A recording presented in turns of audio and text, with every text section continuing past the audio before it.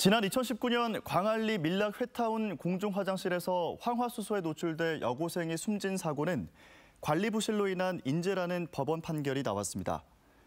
부산지법 동부지원 형사 5단독은 업무상 과실치사 등의 혐의로 재판에 넘겨진 밀락 회타운 상인 회장과 관리소장 등 3명에게 금고형의 집행유예 2년을 선고하고 수영구청 공무원 2명에 대해선 벌금형을 선고했습니다.